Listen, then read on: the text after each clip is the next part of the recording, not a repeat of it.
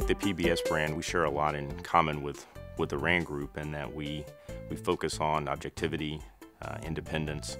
As a business to business um, advisor or referral, I would say that that for the investment that you put in, the return greatly exceeds any other way to get that type of public relations or branding recognition in the marketplace. In the case of the RAND Group Advocates for our clients, in the case of PBS, I think it's an advocacy for its viewers. It's amazing to learn how many people actually watch the programming that we're supporting and how valuable that is in establishing and maintaining business relationships. So I feel very proud to be a part of giving back to the community.